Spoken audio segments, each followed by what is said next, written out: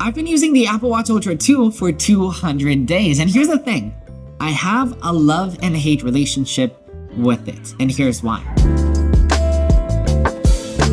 If you know me, you know that I love the Apple Watch. In fact, it's my favorite Apple device of all time because it helps me be healthier, more active, and have a healthier relationship with my iPhone. I've been using the Apple Watch since its launch, and I feel like we've always wanted a larger, more durable Apple Watch. And now since we finally have that second generation, is this what we've always wanted. I'll tell you what I hate about it at the end of the video, but before, we gotta talk about all those new features on the Apple Watch Ultra 2. Are the new nits, the new sips, the new double taps make this new Apple Watch Ultra 2 worth it? Let's, let's talk.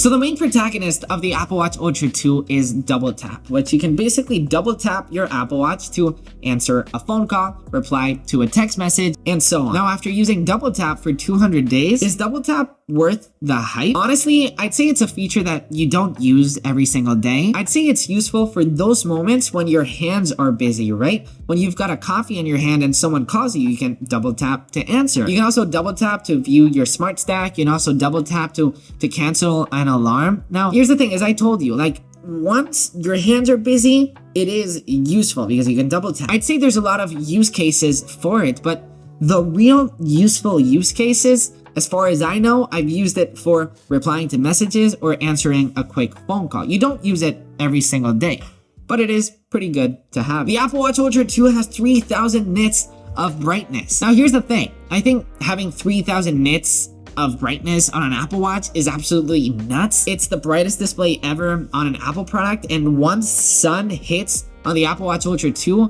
you can feel it. It is extremely bright. The colors of watchOS are vibrant and you can pretty much read your screen in any single condition. Could you read your screen on every single situation on the previous Apple Watch? Yes. Would have I preferred a longer battery life on the Apple Watch Ultra 2 rather than having more nits on an Apple Watch? Also, yes, I'm not complaining. I'm just saying I wish Apple would have been like, okay, do we want more battery life or do we want more brightness? For me, I would have preferred more battery life, but it is what it is.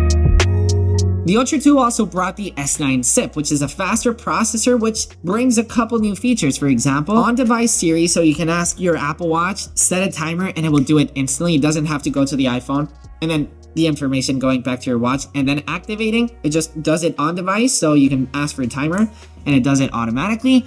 That's pretty good and I've been using it quite a lot. Another feature that I love that is new on the Apple Watch Ultra 2 is the precision finding on the iPhone. So if you lose your iPhone, you know, on previous Apple Watch, you could do like this.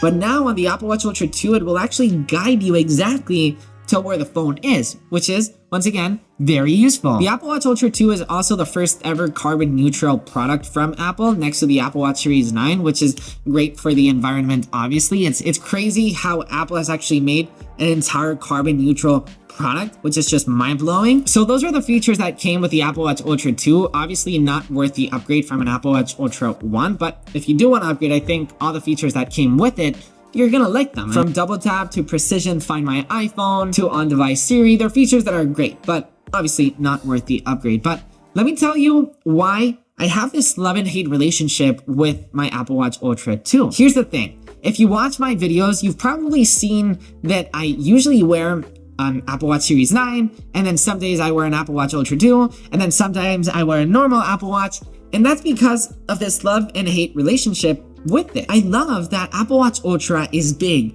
bulky, massive, massive battery life. I love all of that. But I also hate that the Apple Watch Ultra is big, bulky. Having a big display on a watch is great for a lot of things. From using a keyboard that's actually really usable and makes you want to reply to more messages. Having a large display just makes you want to use your Apple Watch a lot more.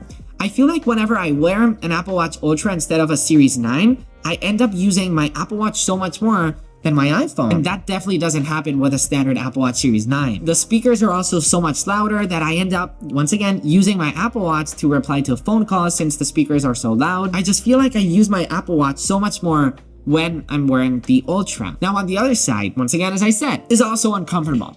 Having a large display is also not useful for sleep tracking. I mean, I don't wear my Apple Watch for sleep tracking because of how big and bulky and uncomfortable, at least for me, for sleep tracking, it is. Because yes, it is bulky. Yes, it is extremely resistant.